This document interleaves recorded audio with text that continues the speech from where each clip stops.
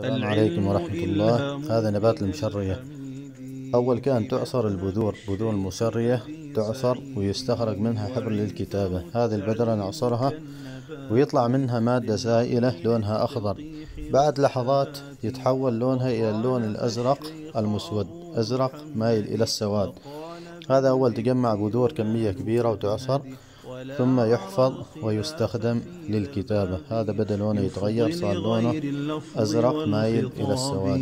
فليس للجد بنفسه أثر من غير توفيق وإلهام صدر ولم يكن الإلهام دون كدي في الشرع ينفعا لمستعدي فكل واحد من الشيخين جاء بوجه وهو ذو وجهين